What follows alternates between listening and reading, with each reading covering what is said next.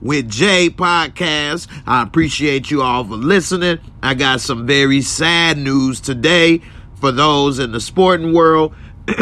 Another NFL player has passed away. This one extremely tragic, extremely young.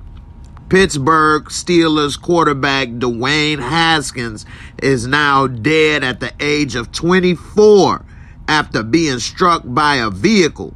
Now, I'm going to go ahead and get into this story and then I'm going to tell you my thoughts. If you're new, don't forget to subscribe to my podcast on Apple iTunes, Spotify. Definitely give me the thumbs up. I appreciate all the support. Let's get into it. Now, Dwayne Haskins is been having a ups and down career in the NFL and he just recently signed a one year deal to remain with the Steelers just three weeks before this tragic death.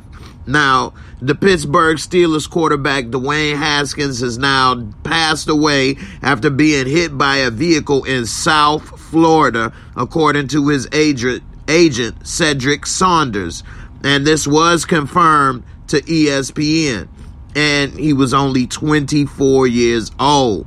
The football player had been in Florida while working out with his new teammates and fellow Steelers quarterback Mitchell Trubisky, who did used to play for my team, the Bears. Um, now it says the Steelers head coach Mike Tomlin also confirmed that Haskins' death in a statement released by the team this morning, offering thoughts and prayers to the quarterback's family during this difficult time. I am devastated and at a loss for words with the unfortunate passing of Dwayne Haskins, said Mike Tomlin, who is 50 years old himself. He quickly became a part of our Steelers family upon his arrival in Pittsburgh and was one of our hardest workers both on the field and in the community. Dwayne was a great teammate, but even more so a tremendous friend to so many. I am truly heartbroken, he continued. The NFL retweeted Tomlin's statement, but has not issued one of its own. Now, Haskins signed a one year deal to remain with the Steelers three weeks before his death, and he would have turned 25 on May 3rd. In January, Haskins was confident that he could be a starting quarterback in the NFL, noting that he got drafted by drafted for that reason by the Washington Commanders in 2019. I am he wrote on Twitter, I definitely believe I have the talent to. I just haven't put it all together yet. he said at the time. According to the team's March 16 statement announcing his return. And that's something I have to do this offseason to put myself in position to play.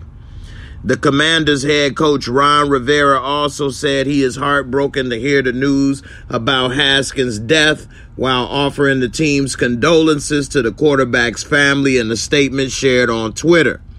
Dwayne was a talented young man who had a long life ahead of him, Rivera said on Saturday.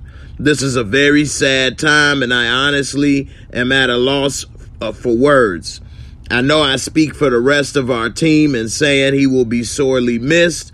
Our entire team sends our heartfelt condolences and thoughts and prayers to the Haskins family at this time.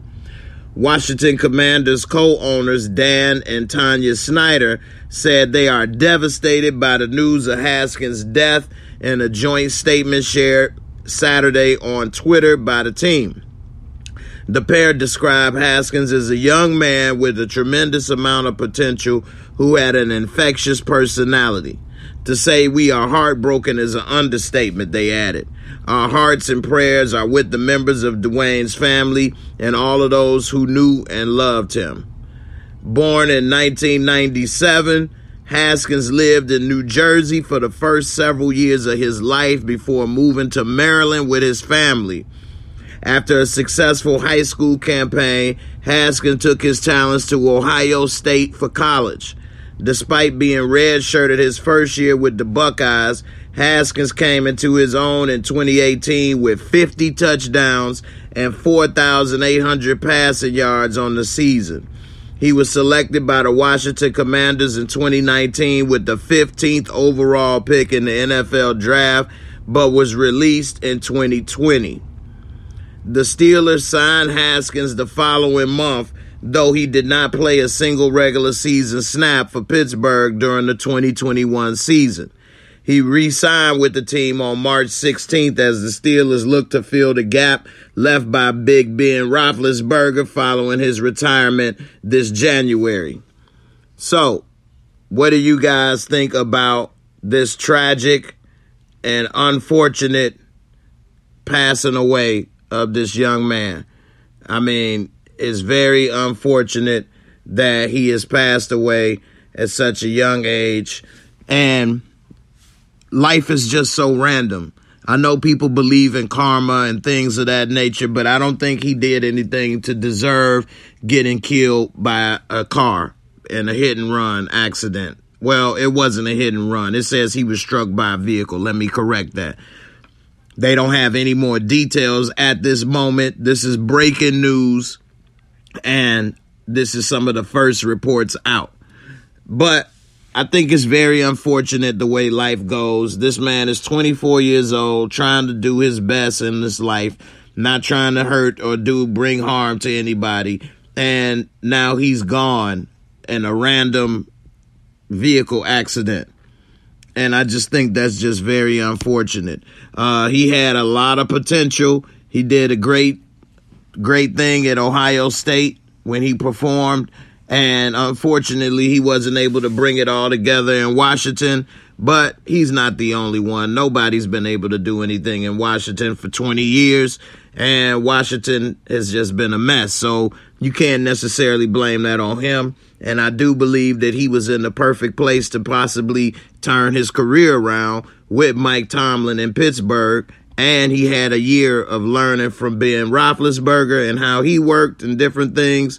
And it's just unfortunate that he passed away. Sad news, 24 years old. It's just so young. It's like a baby in life.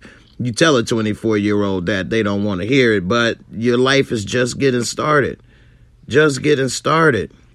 And his life is now over with. And uh, that's just very unfortunate. More people die from vehicle accidents than people realize. And you got to be careful out here in this world because you never know what may happen. You guys let me know what you think about this. Rest in peace to Dwayne Haskins. Condolences out to his family. I'll catch y'all on the next top news story. I'll see y'all later. Peace, and I'm out.